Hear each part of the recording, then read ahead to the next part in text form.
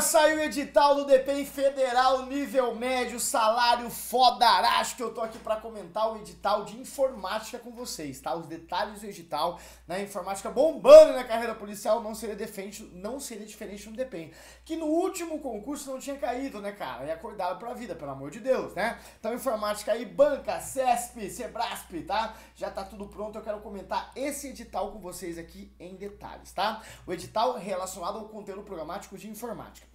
Lembrando que a prova é dia 6 de setembro de 2020, cara. Tem tempo pra caralho, né? Pra você dar uma estudada aí. E lembrando que aqui informática tá, tá dentro da prova objetiva de conhecimentos básicos, né? Que aí envolve é, português, envolve, né? é, ética no serviço público, raciocínio lógico e informática, beleza? Mas vamos lá, vamos comentar o edital, todo o edital de informática, sem segredo. Eu já coloquei, já tem disponível para vocês um curso específico, né, para informática aí no nosso site, tá? Conhecimentos de internet e intranet, aqui envolve tudo, protocolos, funções, comunicação. Então, cara, se tivesse só esse tópico, já tinha coisa pra caralho pra gente ver, tá? Conhecimentos de internet e intranet. E não fuma maconha não, cara. Ficar viajando em coisas atualizadas das coisas antigas é atual, tudo que é novo, tá? E aqui o tópico 2 já dá uma melhorada no tópico 1, um, eu não entendo porque o tópico 2, porque o tópico 1 um, e o tópico 2 mesma coisa praticamente.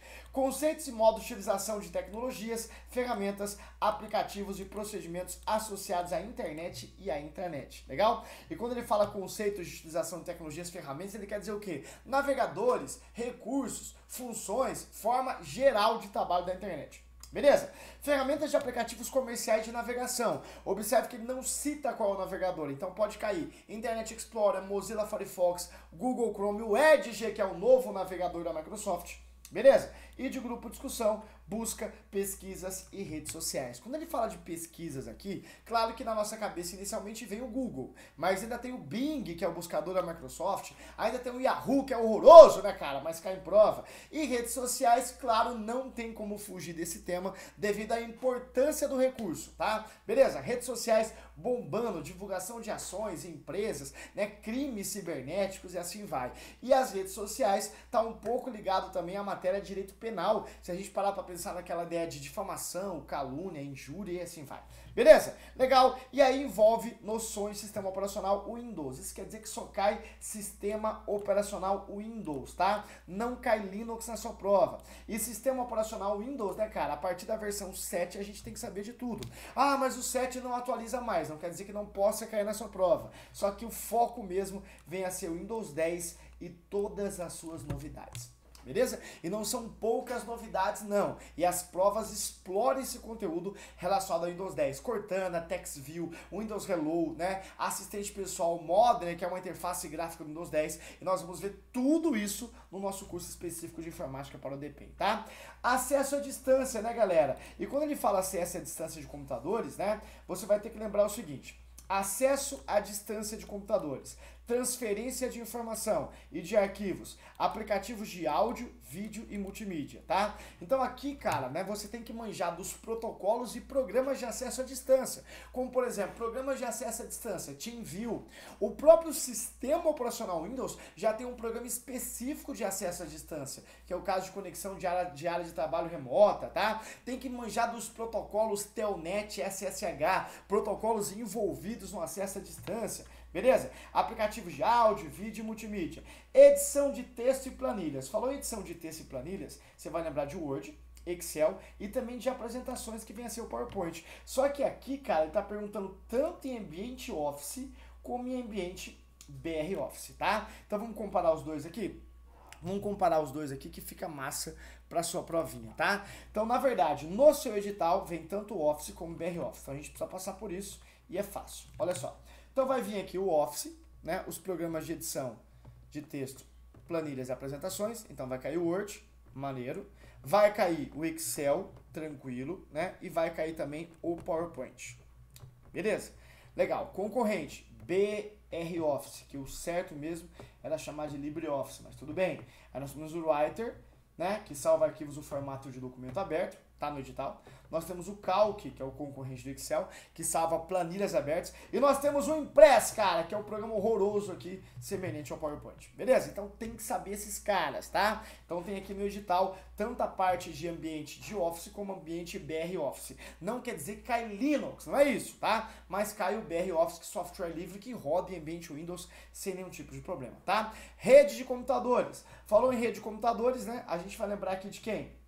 A gente vai lembrar aqui da rede LAN, rede MAN, rede WAN, topologias, anel, barramento, estrela, tipos de cabo coaxial, par trançado, fibra ótica, comunicação simplex, half duplex, full, full duplex e todo o conceito de rede. Não é difícil isso. Nas nossas aulas a gente coloca isso bem, especifica e faz as questões claro, tá?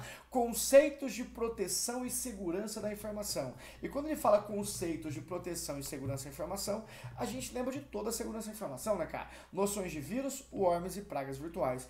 E pragas virtuais, qualquer malware, qualquer programa ou função que pode colocar em, em risco as informações e recursos, tá? Continua aqui comigo, beleza? Também falou aplicativos para segurança, antivírus, firewall, anti-spyware, etc, etc. Deixa uma coisa muito abrangente, qualquer coisa referência à segurança, tá? Convergência de redes, tá? Deixa eu isso aqui. Vamos lá. Convergência de rede, noções de voz de IP, voz IP por telefonia, Skype de uma forma geral, noções de videoconferência, né, cara? Comunicação de videoconferência. Legal? Sistema, isso aqui na verdade, noções de videoconferência, noções de voz IP e telefonia IP, a gente já aprende no conceito de internet, tá?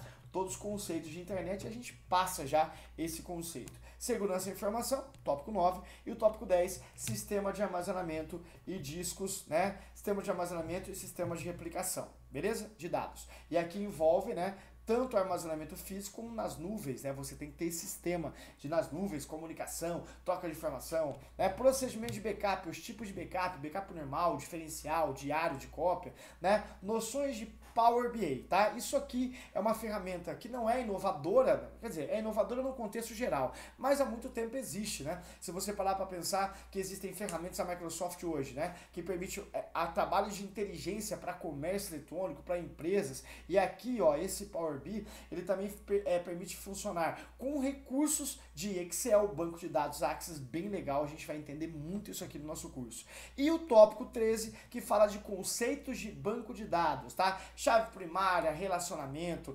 armazenamento de dados, a gente vai ver isso aqui muito bem, beleza? Então o edital é esse, galera, esse é o edital né, de, de, de informática para a prova do DPEM Federal. Então a prova só vai acontecer dia 6 de setembro, tá? Tem muito tempo aí. Conhecimentos básicos, 30 questões específicos, 50 questões e 40 questões também a parte complementar. E a prova discursiva só vai cair atualidades mais ligados à ideia, né, do penitenciário. Por exemplo, exemplo, olha só, vai cair na prova discursiva atualidades mais ligadas a sistema de justiça criminal, sistema prisional brasileiro e sistema penitenciário federal, política pública de segurança pública e cidadania, papel do sistema penitenciário nas políticas nacionais e de segurança pública, tá? Então, galera, o curso tá pronto, já dá uma olhada no link aí, já tá o link disponível para vocês, né? O curso completaço de informática. E eu vou colocando mais informações para vocês aí também, né? De um tópico ou outro, mais questões referentes a esse conteúdo programático, tá? Tamo junto, claro que não poderia faltar o nosso patrocinador oficial, né? O Harvos, o energético aqui das nossas aulas, tá? Vamos tomar esse energético aqui porque ele é muito bom,